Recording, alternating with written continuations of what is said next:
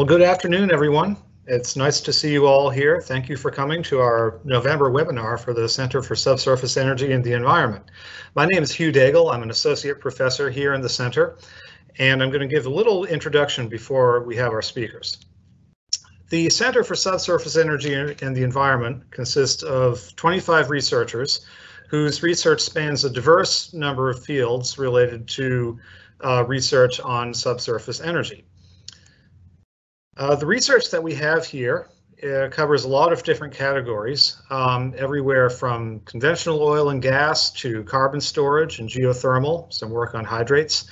We have a number of technical disciplines represented by the 25 researchers here, ranging from production engineering to computational sciences, petrophysics, rock mechanics, and a number of different tools that we use in our investigations. We have uh, several industrial affiliates programs as well affiliated with the center, um, which you can see here. The newest here is the Carbon Utilization Storage and Transportation IAP, which we had a webinar about back in July. You can visit our website for more information on all of these IAPs. We have monthly webinars, usually around the first Friday of the month. Uh, these are intended to be industry-driven webinars that will be of interest to people outside the university as a way of disseminating our relevant information. They're usually on the first Friday at noon Central Time, and they're given via Microsoft Teams as we are here. And then we upload the webinars to our YouTube channel uh, within a few days of the webinar. So you can go check that out if there's something you missed, or you can distribute the link to your colleagues. We have a couple of upcoming webinars. Next month on December 3rd, one of our newer faculty members, um, Arvind Ravikumar, is going to give a webinar about the energy transition and sustainability. This is going to be a very interesting talk. I'm excited about it. And then our January webinar will be on January 7th. And another one of our new faculty members, Silviu Livescu, will give a presentation on a topic to be determined. Today, I have the pleasure of introducing our speakers today who are going to tell us about geological storage of hydrogen. Uh, we have Dr. Peter Eichhubl, who is a research professor here. He uh, is affiliated with the Bureau of Economic Geology and works on fluid flow in various systems, including geothermal, fracture networks, and reservoir geomechanics. Our other speaker is Dr. Mojdeh Delshad, who is affiliated with the center here in the uh, Department of uh, the Hildebrand Department of Petroleum and Geosystems Engineering.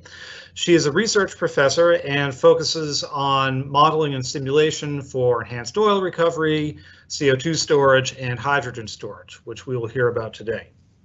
So with that, I would like to give it over to uh, Dr. Eichhubl, who is going to be our first speaker for the afternoon. Well, thank you for the introduction. Um, I hope you can hear me loud and clear. Uh, the talk is um, a co-presentation. It will be split in two parts. The first part will give you an introduction to hydrogen and in particular hydrogen storage, geological storage and uh, an overview of a new program that um, we have launched jointly between the BG and the um, Petroleum Engineering um, Department on um, the geologic aspects of hydrogen storage. And then in the second part, Professor Delshad will uh, present some um, first results on uh, simulations of hydrogen storage in the subsurface. So the first part is aspirational, more forward-looking, and then um, uh, maybe uh, the second part is then more inspirational than the first part.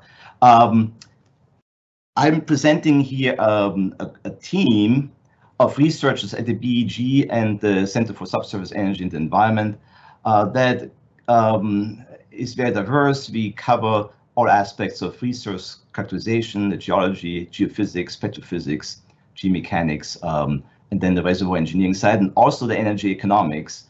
Um, because as you will see in this presentation, um, the um, directions hydrogen is headed are in many ways very uncertain. Uh, the economics are uncertain. So in focusing and directing our research, we need to have some idea what is a viable technology and which one is not. So the economy side is really important in this. We get some assistance from the Center for Electromechanics, uh, Bob Hebner's group.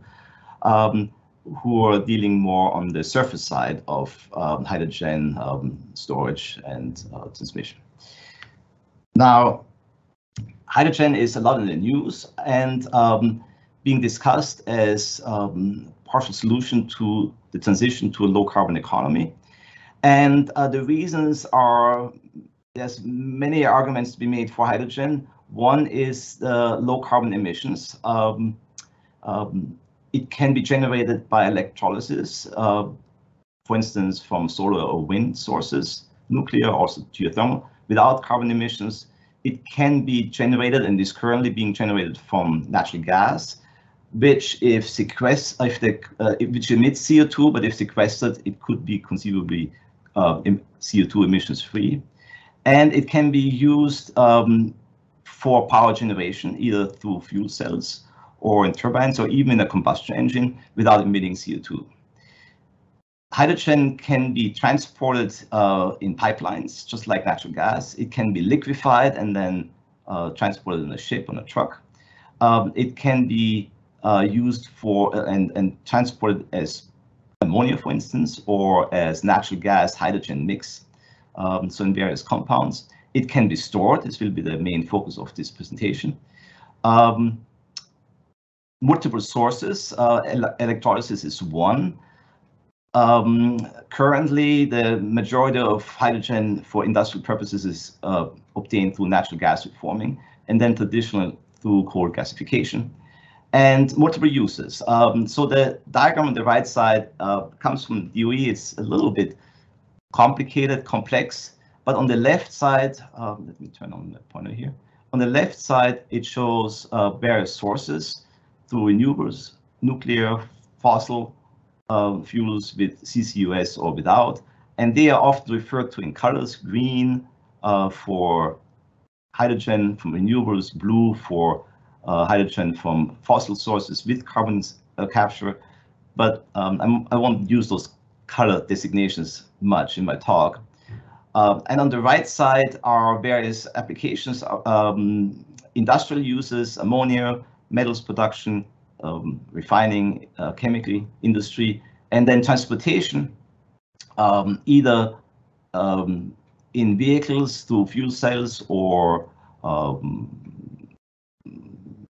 yeah, or um, through synthetic fuels, and then power generation. So it can be um, used in turbines, and then in conjunction with energy storage, uh, with hydrogen storage, it could be used to um, meet energy demand during peak hours, peak demand hours, or even for the uh, base load. So um, that's um, kind of sums up what the advantages of hydrogen are. The projected use, um, there are several studies out there, and um, as you can imagine, with this being a new, it's actually not a new technology, it's been around for a while, being discussed many times, but now I think we're getting to the point that hydrogen has a good chance of taking off. Um, but the projections vary widely. And um, you see on the right side of one assessment by the Fuel Cell and Hydrogen Energy Association, which is a trade group of hydrogen producers. So they are perhaps shining a very positive light on this, but um, you can see uh, for 2030 and for 2050, a base assumption and an ambitious assumption. And um, divided by sector. Um, there's obviously a lot of assumptions that go into this, um, especially for instance, transportation. Uh, it may be perhaps more viable for larger trucks. For small cars, uh, the network of, of, fuel stations could be uh, deterrent. So this is all to be seen, quite honestly. Um, another study here on the bottom left by NREL um, it comes up with similar scenarios um, using different assumptions. So the bottom line here, this is very unscripted. And in moving forward, we have to keep um, that in mind um, as we develop uh, ideas about storage. Now, why do we need to worry about storage? Um, there is um, this purpose of storage is obviously to even out variations in supply and demand. And um, that variation can be on a daily basis as seen in the top right diagram. And what that shows is the daily net load for um, a scenario in California in this case for going from the past to the future with an increasing um, production of uh, wind and solar electricity. And peak demand is in the evening, but obviously solar is most um, efficient during the day. So with increasing uh, deployment of wind and, and, solar, you get this uh, over generation during the day and lack of generation in the evening. So this has been referred to as the duck curve. So this is daily variation, but this is also applicable to uh, seasonal variation. So the lower diagram here is it's a hypothetical scenario, assuming that all the power comes from 100% renewables. Um, again, for California, so in the winter, you have a deficit. In the summer, you have a surplus in generation with some spikes um, if there's a bad weather event, for instance, right? Um, now, you could argue you just build enough solar and wind power plants to meet peak demand, but that would be highly inefficient because then most of the time of the year, those extra um, um, plants would be sitting idle. So instead of building um, the plants to meet peak demand, you want to store excess production, um, in this case during the summer, for use in the winter, right? So that's um, seasonal storage. And it turns out that hydrogen can be a very useful um, storage medium for energy. So this plot here shows storage duration. It goes actually from seconds to season, and then the discharge power. And the, the shortest, this is just grid stability, right? Um, so they use capacitors for this and flywheels. Um, for hours to days, batteries can uh, meet the storage need. Um, ERCOT is building a 200 megawatt uh, battery uh, storage site that could power 40,000 homes for a couple of hours. So that's about 10th, 11th of the size of Austin. Longer than that, so there is also compressed air, uh, pumped hydro storage, obviously, been, uh, that can go for weeks. But uh, for really seasonal storage, hydrogen would be uh, an appealing energy carrier. So it can go from hours in surface tanks to seasonal storage in the subsurface and perhaps even beyond that. Um, if you think about strategic storage of energy, um, it may go beyond seasonal. It may be multi-year storage, right? So an overview over existing storage methods. The um, there are pressure vessels at the surface, um, either in spherical vessels or in concrete containers, pipe storage. That is obviously small amounts um, for short duration. Then cryogenic, it has the advantage of higher energy density. It's used, for instance, by NASA, used to be used for, by NASA for rockets, but um, the cooling is obviously energy intensive, so it's not cheap to do. Uh, there's also cryocompressed where you use both low temperature and um, pressure to liquefy hydrogen. And then um, geologic storage, where you compress, uh, where you inject compressed gas, hydrogen gas, either in salt caverns, in lined rock caverns, or in porous reservoirs, uh, saline aquifers, and depleted oil and gas fields. And the capacity of this, uh, so the numbers taken here are from uh, economic analysis. Those are just, you know, um, representative numbers. Um, you see the difference between stored and working capacity. Working capacity is always less than the stored capacity. Um, and um, porous reservoirs in principle could be, you know, for all practical purposes, an infinite storage capacity. Now, um, to zoom into this topic a little bit further, um, the choice among those different storage technologies is controlled in part um, by the duration that's intended of storage, by the end use, what available infrastructure, and then if we're talking about geologic storage, obviously by the subsurface geology as well. So um, solution ca caverns in salt domes, well, you need to have salt layers in the subsurface which is shown here by green for the US. Not every part of the country has that, right? The Texas Gulf Coast has is in a very good position for this, uh, having abundant salt domes. Um, depleted oil and gas fields in red, well, sedimentary basins, but not all of them have oil and gas resources. So, um, but you see there's, it's much more widely available. And then saline aquifers, every sedimentary basin more or less qualifies. There's obviously parts of the US that don't have that either, right? So the choice of the storage medium is geology dependent. And if we look at current present day natural gas storage in the lower right here, you see that um, salt domes for natural gas storage is used primarily in the south. Um, depleted oil and gas fields more or less all over the country. And then aquifers somewhere in the Midwest here. So that's actually already telling you how the, the preferred choice of subsurface storage for hydrogen will vary regionally and geographically. And they are complementary approaches. It's not just one trumps the other, although uh, salt domes, salt caverns are the most economic one at this time. So overall, some pros and cons of geological storage. In principle, unlimited capacity, um, cost effective for long-term storage compared to surface uh, infrastructure which you have to maintain. Um, there's no pun punishment if you just keep it stored in the subsurface. Um, cons, uh, we will hear this in the second part of the talk, uh, losses by diffusion dispersion. Um, there's some chemical interactions that contaminate your hydrogen. Um, you may not be able to retrieve, you will not be able to retrieve all the hydrogen back that you inject into the subsurface. Um, and then the limitations by the subsurface geology. So let's talk a little bit about salt cavern storage. There are three sites in operation in Texas uh, the yellow stars here.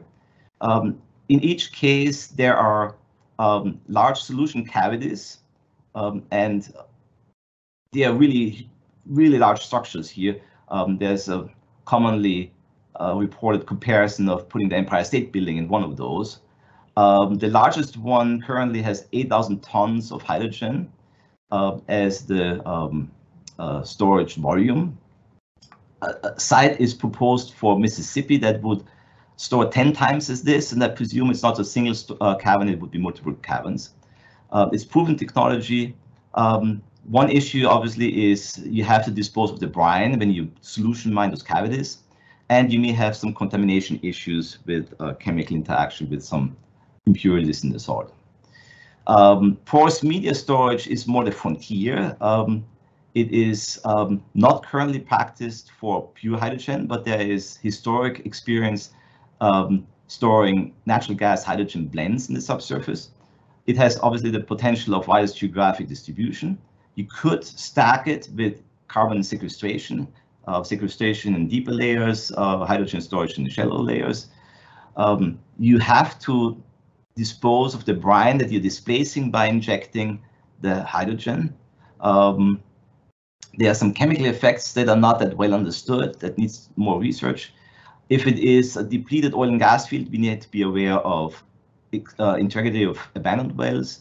If it is a saline aquifer, we have to worry about the cap rock um, being tied, um, something we don't have to worry about with an abandoned oil field.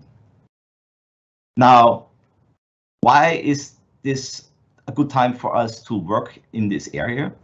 Well, if we compare hydrogen storage in the future with the current natural gas storage.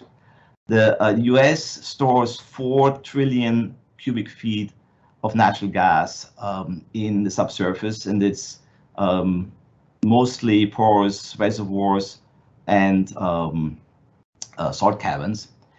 Currently, um, the US and that's all in Texas stores 6 billion cubic feet of hydrogen. So if we want to replace hydrogen, uh, natural gas with hydrogen, we have to scale this up um, by a factor of 1,000. Um, and you may argue, well, we could convert existing natural gas storage to hydrogen storage, but we have to keep in mind that the energy density of hydrogen is about a third of that of natural gas. And then in the second part, you will hear that um, uh, a natural gas uh, storage site can in one case at least, can only take a third of the volume in hydrogen. So there's another factor of 10 that we need to increase storage capacity. And then another factor is that it's probably easier to ramp up natural gas production if there are um, peak demand times, which you may not be able to do with hydrogen. So we may even need more capacity than, than we currently have for natural gas. So it's a huge challenge if you want to go that route. So um, a few slides of what our consortium plans on doing. One is resource assessment. Where is the storage space and how much is there? I cannot show you a results at this point, but I can show you what we have done for CO2 storage, for instance. Here, the Texas Gulf Coast. Um, it's just estimating the amount of pore space, space available for storage, but then obviously you have to zoom in on structures that are suitable to store and confine the hydrogen. It's different from CO2 where you try to dispose of it.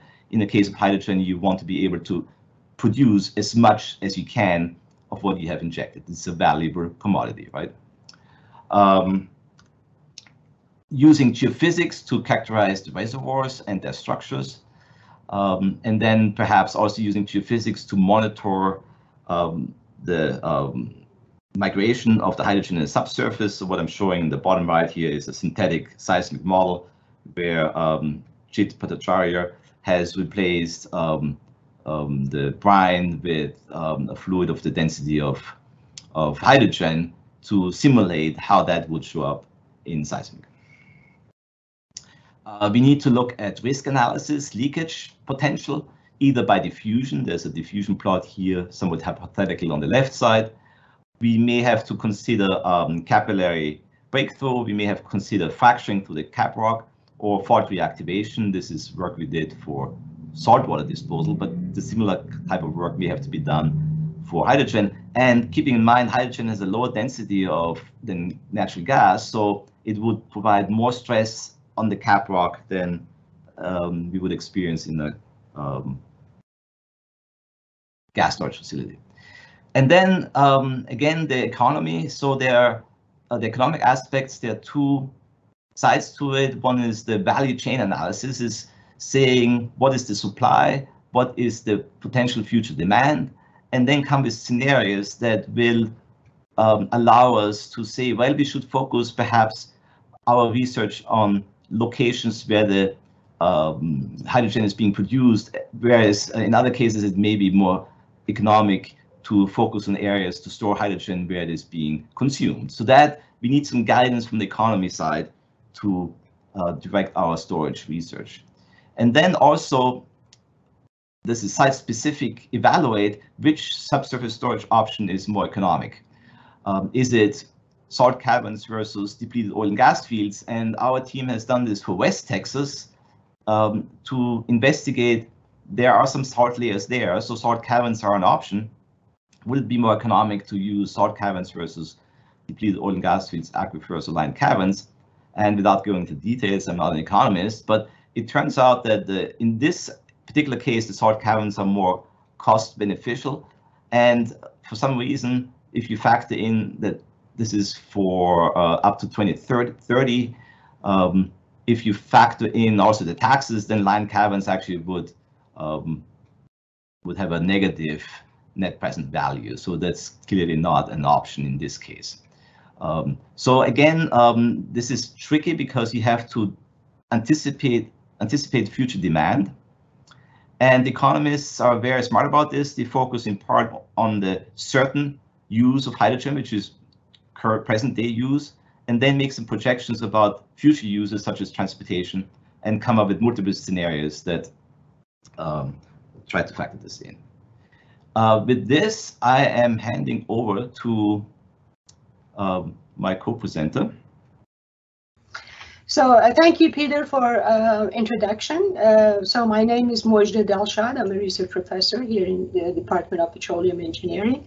Uh, my uh, co-authors on this work, uh, Dr. Uh, Kami and of course Peter, uh, Yalnur Omarzakov, uh, Dr. Reza Ganjdanesh, and Dr. Mehran Mehrabi. I have to acknowledge the financial support from um, Hildebrand. Uh, we got it in December of 2020. Uh, and this has been a nine-month uh, project, so we really appreciate this uh, initial funding from Hildebrand. Uh, so is the timing is perfect because uh, I just got the uh, new journal of JPT, so October 2021, and the first the cover page was about hydrogen. and one of the projects that they're going to look at offshore green hydrogen uh, production. And of course, has nothing to do with the storage at this point, uh, but is still exciting that they're going to look at uh, offshore uh, generation of uh, green hydrogen and eventually storage will become part of it. So if you're not familiar with some of the activities, I just listed uh, some of the projects that um, you know different part of the world they're talking about their commitment uh, to hydrogen uh, production and also different types of uh, storage. so I think Peter mentioned about the HyStor, and this will be the first US zero carbon green hydrogen storage in Mississippi. They announced it in October. And this will be 10 times larger than any other green hydrogen proje uh, project under consideration in the US. And uh, the commitment is to produce about 110 million kilogram of green hydrogen and store about 70 million of that in three salt caverns. And the expectation is it's going to be a, a commercial service by 2025. And of course, uh, there are other projects, uh, the one that we saw on JPT uh, cover page, and there's an article on it, is the one that is going to be North Sea on Netherlands side. Uh, it's called PosHYdon project. And Oman also in May announced a consortium uh, that they're going to generate green hydrogen from solar and wind and produce a million tons of green hydrogen. There is a project in Germany, H2Store, uh, Austria, Sun Storage, uh, France, uh, that they're going to do small scale salt cavern demonstration project. Uh, Ireland, they're going to look at uh, green hydrogen and storage in natural gas reservoir. Uh, Argentina, they're looking at H2 storage in depleted oil and gas reservoirs.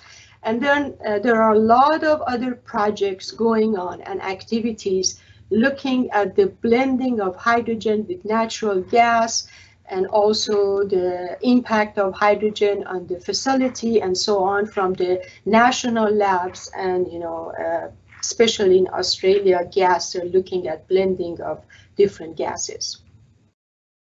So our research uh, has been really focusing on uh, looking at the feasibility and performance of hydrogen storage in several geological formations by doing uh, numerical simulations. And of course, it has to be multi-phase flow and compositional.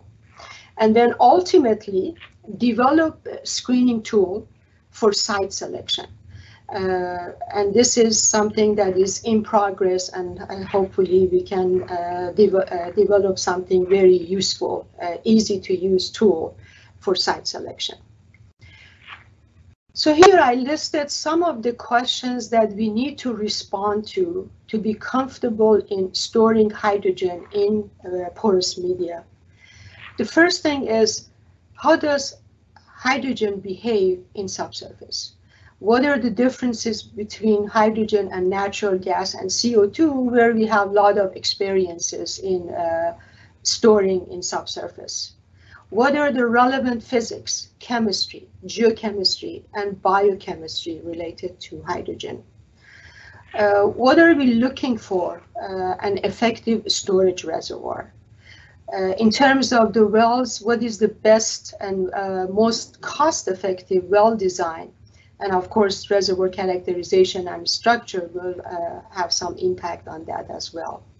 And looking at the long-term performance, because you, when you use these storage sites, you go through multiple uh, cycles of injection and extraction. And can we reduce the loss of the gas due to the cushion gas? and are there alternatives to potentially use other gases like nitrogen or CO2 as cushion gas, not hydrogen. And also Peter mentioned about the leakage. Can we use our reservoir engineering hat and good site selection to mitigate uh, some of the uh, leakage risks.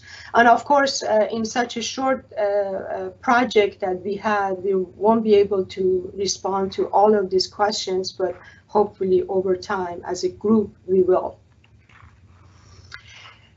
So uh, the industry has a lot of experience in storing different gases in subsurface. So this is not something that we be worrying about that we don't know how to do it. We know how to do it.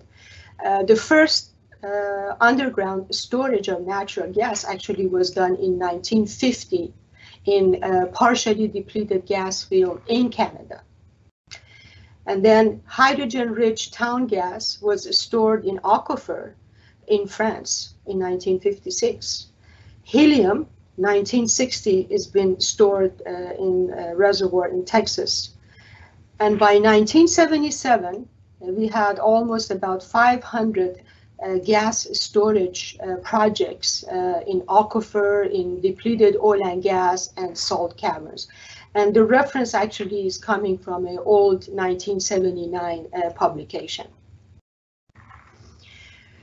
So some of the critical requirements uh, for uh, storage are, and this is something that we try to respond in this research, are we want to make sure that when you inject hydrogen, stays in place and in a confined volume. So then you'd be able to produce it back with minimal losses. And uh, losses here, we're talking about maybe the cushion gas. You need to have minimal losses to leakage through wells, caprock, and uh, underlying aquifer, any diffusion that may happen, uh, loss to the solubility in the water or maybe uh, other uh, fluids. Be able to produce back at high rate to meet the demand in terms of the power. And making sure your facility in terms of the number of wells, uh, injection, extraction, potentially pump wells, they're uh, cost effective and a lot of concern about purity of hydrogen, especially when you uh, inject it into natural gas uh, storage and making sure what are the end use for that hydrogen because there are uh, some um, usage of hydrogen that requires very pure uh, hydrogen. You cannot use a blend. So the first thing uh, we, we, looked at was uh, what are the analogs for hydrogen storage. Of course, uh, CO2 storage in saline aquifer, CCS, uh, storage and utilization in oil reservoirs, natural gas storage, and then looking at onshore versus offshore uh, storage sites. So our simulation workflow uh, started with uh, taking one uh, case that was a candidate for natural uh, gas storage and comparing that with hydrogen. So keeping all the conditions the same, just replacing the natural gas with hydrogen and comparing the two strategies. The other case, uh, we looked at actually two uh, CO2 in saline aquifer um, cases that we had access to the reservoir model and then compare it with hydrogen storage. Then uh, we start looking at optimization of these uh, projects for hydrogen storage, looking at the locations of the wells, orientation, perform, uh, perforation, and so on. Uh, we carefully looked at uh, the physical properties and also looked at sensitivity to relative permeability and capillary pressure based on uh, published data for hydrogen and water. And then eventually, uh, we also looked at the strategy of injection and extraction in terms of the cycles uh, and the presence of the pump wells and how to utilize them. And of course, for this early uh, work, our focus was mainly on be able to assess the uh, capacity of the hydrogen uh, stored, get some ideas about the efficiency in terms of the uh, working capacity, and that's what you can sell to the market. Uh, so we did not include geochemistry or uh, for example, hysteresis and relative permeability and capillary pressure, biochemistry, and so on. So it was mainly focused on the uh, flow uh, and transport. So we had three cases uh, that we already had a calibrated history matched dynamic geological model for. Uh, one was the Cranfield site where CO2 EOR and CO2 storage uh, or injection pilot was done in saline aquifer. The second case was a natural gas storage in Colorado. And the third one is the Frio site, is a saline, uh, again, saline uh, aquifer that uh, they did the CO2 injection uh, demonstration we focused on making sure the existing equation of state and PVT models, they can capture the properties of hydrogen, uh, density, solubility, compressibility, and viscosity. And then comparing hydrogen with natural gas and CO2, and then running sensitivity cases and try to make an attempt to optimize uh, the hydrogen storage. Here I show uh, some of the data that we collected for hydrogen uh, properties. Uh, top one is the density as a function of pressure at a fixed temperature, uh, comparing the density of hydrogen against methane and CO2. And you see that hydrogen is almost 10 times less dense than methane. And for the viscosity as a function of pressure, fixed temperature, again, hydrogen almost three times less viscous than methane. So the, met, the hydrogen is going to be more buoyant and is going to have much higher mobility compared to either methane or CO2. These graphs, they show that we were pretty much uh, pleased uh, with the equation of state and the physical property models that we have in our simulators. And they can capture the uh, density and viscosity of the hydrogen without any issue. So this is density. Uh, blue is the calculated versus uh, dots, they're the measurements and this is the viscosity. So it seems like we really don't have to do anything with our uh, equation of state or physical property models that we've been using for gases for many years. Then uh, we collected data on uh, relative permeability and capillary pressure. So this is the case from Yekta in 2018 from France. Uh, he measured steady state relative permeability for water and uh, hydrogen. Uh, in addition to capillary pressure, I didn't put that here, but he also measured the uh, capillary pressure for hydrogen and water. So we included this data set in uh, some of our sensitivity simulations that we uh, conducted. We also looked at the solubility of different gases in water and comparing hydrogen with them. And this is showing the solubility in water in grams per kilogram of water as a function of temperature at atmospheric pressure. Uh, hydrogen has the lowest solubility compared to methane and CO2. And it seems like even uh, temperature has very little impact on hydrogen solubility, at least within the range of uh, data here, uh, 20 or 10 to 60 degree uh, C's. So I'm going to uh, discuss very briefly some of the cases that we ran and the results.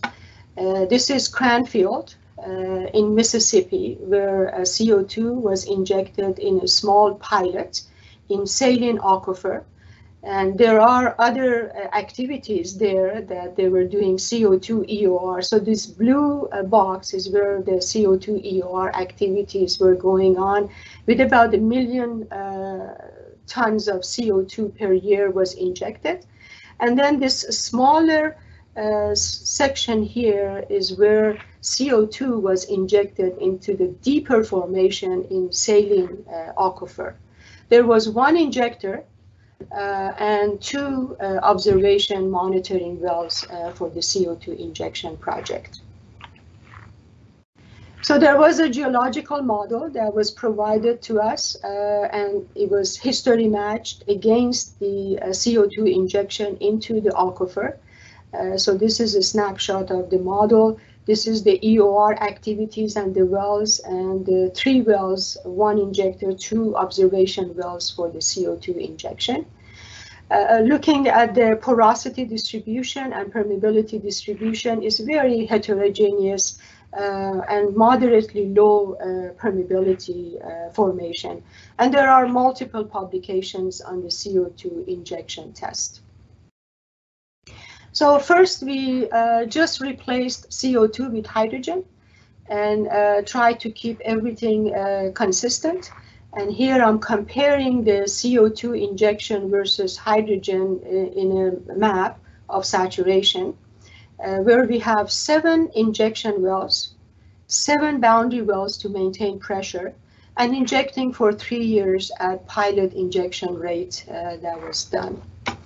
So if you compare the saturation of CO2 versus hydrogen, you see that hydrogen has moved up uh, to the top surface much more than CO2, and it also spreads uh, much more uh, than CO2. So definitely is telling you that we need to do some different optimization for hydrogen to be able to store it in smaller confined volume and be able to produce it uh, easier.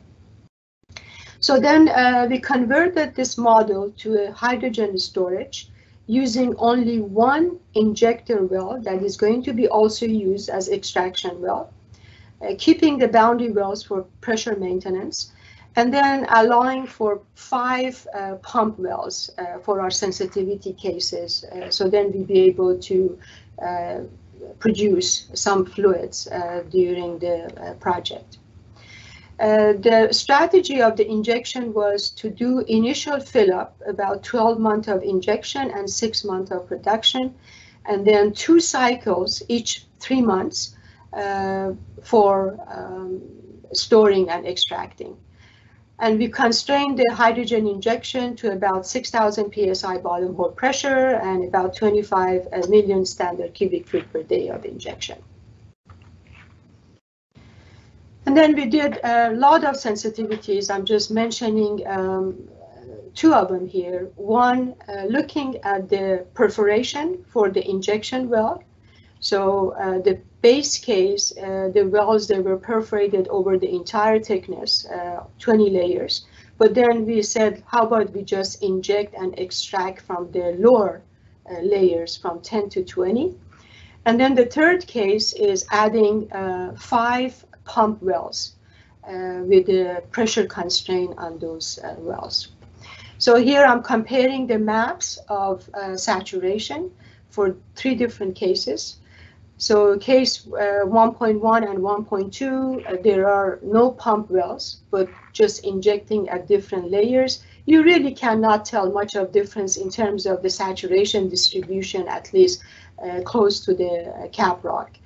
But then for the case of the pump wells, you see much larger spreading and uh, actually the results indicated we can produce uh, more when we have the pump wells in operation. So these are the five pump wells, and this is the injection well uh, that uh, contributed uh, quite a bit uh, to the capacity and uh, working uh, volume.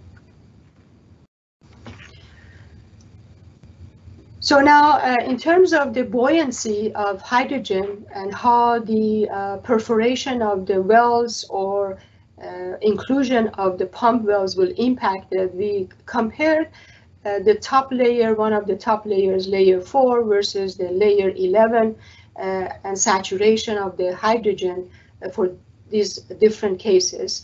And of course, you see for every case, you have more hydrogen uh, moving upward. Uh, so you have the gravity override, especially with such low density of hydrogen, and more spreading with the case of pump wells. and then we looked at the volume of uh, how much we can inject and how much we produce in each of these uh, three cases. Uh, and of course, in terms of injection, they're very uh, similar, all three cases, but the production and the extraction of the hydrogen was the highest uh, when we included the pump wells.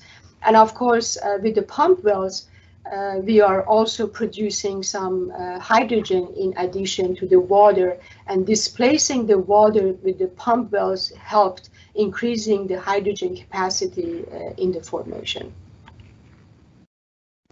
The next case is a, a, depleted oil reservoir that was considered for natural uh, gas storage in Colorado. So by the time uh, the company was considering uh, storage of natural gas in the formation, there was very little uh, gas and oil and was mainly water because it was water flooded for many, many years. So we considered that as our second case uh, where the reservoir uh, characteristics is kind of interesting. Uh, it was a sort of a channel sand with a high permeability here. The red is the channel and the non-channel sand with the lower permeability of uh, 10 uh, millidarcy. The natural gas um, project included nine injection and withdrawal wells, 15 pump wells, and of course, we looked at different scenarios of uh, injection and extraction. Uh, one of them was, again, a longer uh, fill-up time, a 12-month injection and six-month production, and then doing a three-month uh, period, uh, multiple cycles for uh, five years. there is also aquifer, so there is additional support uh, for this reservoir and these arrows they show the connection uh, to the reservoir uh, with the aquifer. So first, uh, we compared again natural gas and hydrogen, keeping all the conditions uh, the same as the natural gas. And here I'm showing you the saturation uh, map of natural gas versus hydrogen. Uh, and uh, again, you see that natural gas, because of its properties of uh, viscosity and density, is more confined. And a lot of it is actually in the dome of the formation, whereas the hydrogen spreads more along the uh, high permeability uh, channel. And if you look at the uh, volumes that we store, the blue uh, is the natural gas and the orange, uh, the hydrogen for different cycles. Uh, it's interesting to notice that uh, you're going to increase more and more storage in uh, subsequent cycles. Initially might be low, but then you're going to increase it for both natural gas and hydrogen. But then uh, natural gas uh, has much higher capacity than hydrogen. So when we compare these two cases, we noticed that uh, we cannot inject as uh, the same rate as the natural gas. It was also uh, about 10% less injectivity with hydrogen because we reached the max, uh, maximum uh, uh, pressure very quickly. and then the working capacity was about 32% less with hydrogen. More saturation of hydrogen came uh, to the surface. So definitely we need to optimize storage for uh, hydrogen. This is comparing the saturation uh, for natural gas and hydrogen in different layers. Again, you see significant buoyancy, uh, gravity override uh, of uh, both gases to the surface, but to, the, to some extent more in hydrogen. And then you have more spreading of the hydrogen versus uh, natural gas in every uh, cycle that we were looking at. And then uh, we did uh, sensitivity studies looking at the location of the well completions, orientations, uh, how we operate, uh, other sensitivities looking at the relative permeability, critical gas saturation, temperature, pump wells, and of course you see uh, significant differences in terms of the uh, how much you can inject, how much is recycled, and the working capacity. But based on the sensitivity studies that we, we did, relative permeability and addition of the pump wells, they had the highest impact on the efficiency of the storage. I have to skip the FRIO, uh, but um, we also looked at this case and we saw, uh, again, significant differences between hydrogen and CO2. So the ongoing research, uh, we're collaborating with uh, Dr. Peyman uh, Mostaghimi from University of South Wales in Australia, and he's interested to collaborate with UT Austin to look at, you know, pore scale modeling of hydrogen and brine, in addition to conducting relative permeability experiments for hydrogen and water and hopefully we're going to use his data and try to upscale it to um, field scales. So this is my uh, last slide. Uh, so the takeaway message, uh, as Peter mentioned, uh, you know, hydrogen might actually be uh, contributing the total energy demand uh, about 18%. These are the predictions by 2050. So one of the major challenges for the hydrogen economy is its storage. And for porous media storage, we need a clear understanding of uh, fluid dynamics, containment security, withdrawal rates, and storage capacity. And some of our preliminary simulations and looking at other published results, there are no technical barriers to store hydrogen in depleted oil gas reservoirs or saline aquifers. We have a lot of uh, experience doing it for different gases. Uh, I believe that we need to have a better handle of petrophysical properties, relative perm, capillary pressure, wettability for a given storage site. We need to look at the impact of hysteresis because now when you do the cycles of injection and extraction, the direction of saturation changes. So hysteresis may contribute uh, quite a bit and also due to the properties of hydrogen compared to uh, other gases or water, you may have fingering, viscous fingering, and gravity uh, fingering that may uh, occur. Uh, geochemistry needs to be looked at. I know Dr. Mohanty uh, is going to uh, start looking at the uh, interactions of hydrogen with some minerals and fluids in situ. There are a lot of discussions on biological impact, and especially if we generate H2S if we have some of the sulfur minerals like pyrite, gypsum, anhydrite. So that needs to be looked at uh, for a specific site. So um, in summary, analogous to other subsurface projects, we need a multidisciplinary research, uh, including uh, laboratory modeling and field pilot studies uh, to understand geology, physics, geochemistry, biochemistry, uh, and uh, hydrogen transport for future uh, safe and efficient storage projects. Thank you very much.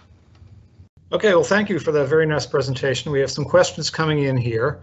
Uh, I'm going to start with a couple of related ones about injectivity. I think these would be good for um, Dr. Delshad. So the first question is about maintaining injectivity in a in a system of finite volume and uh, whether it'd be possible to use brine somehow to improve the hydrogen injectivity. So uh, could you comment on that? Um, I'm not sure if I understand uh, the brine, using brine for injectivity. Peter, is that clear to you what that uh, well, maybe it relates to using pump wells, right, and active pressure management, right? So.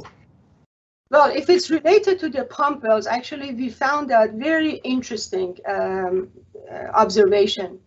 During the natural gas, the case I showed you for natural gas uh, storage, they included the pump wells, but the pump wells, they were actually active during the injection of natural gas. But we found out for hydrogen, actually, we need to activate the pump wells in order to be able to inject more, store more, and produce back more during the withdrawal cycles. So that was one of the interesting observation and optimization that we did, that they're very effective in terms of producing a lot of water, uh, leaving space for the hydrogen. And at the same time, you're also going to produce more hydrogen through the pump wells.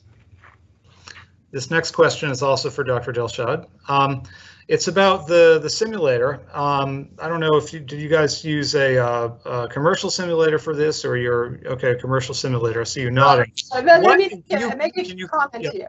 Uh, yes. Yes, for these cases, because the original models, they were already in CMG. And uh, CMG GEM has all the capabilities we need for hydrogen storage, at least for uh, what we've been looking at. But uh, we do have our own in-house simulators that eventually I think we're going to migrate to those because we want to look at geochemistry and we have the coupling with PHREEQC for geochemistry. We have the capability of doing the uh, biological reactions with our own in-house codes that you may not find them in the commercial simulators, uh, potentially fractures, faults. Uh, all of those, I think we're going to eventually switch to our own in-house simulators. Okay, great. Uh, here's a question. I think this one um, could go to Dr. Eichhubl. Um, it's about site selection. So how is site selection different for hydrogen storage compared to carbon dioxide storage? Well, as I mentioned in my talk, um, there's a fundamental difference. Uh, CO2 we want to dispose of for good, and the hydrogen we want to contain um, and maximize the, the, the, the production um, um, after injection. So ultimately, they serve different purposes. Um, we need a well-defined um, structure for the hydrogen um, to avoid dispersion in parts of the reservoir that we cannot retrieve the hydrogen from. Whereas in CO2, I'm not so worried about that part, right? So fundamentally, they're different. And um, the other part is that um, the cost, right? So we want to reserve the best, the prime pore space probably for hydrogen storage because it's multiple cycles of injection production. Whereas um, for CO2, it's a one time. So once the reservoir is full, we move on to different reservoir, right? Um, so the idea of stacked reservoirs um, that may sound good in paper, in practice, it may not really work that well because the structure may be a different one, but maybe different layers, right? Different stratigraphic horizons being used for this, not necessarily the same location. Okay, thank you for that. Uh, this next question, I think we probably have time for one more question. This is for Dr. Delshad, and it's about considering geomechanical effects. How important are they, and are there good simulation tools that are able to address that problem? Yes, I, I think you know uh, now we're because of all the unconventional shale and looking at you know hydraulic fractures, natural fractures, and uh, geomechanics. Of course, uh, commercial simulators, in-house uh, simulators, we have that capability, and of course we're going to look into that as well.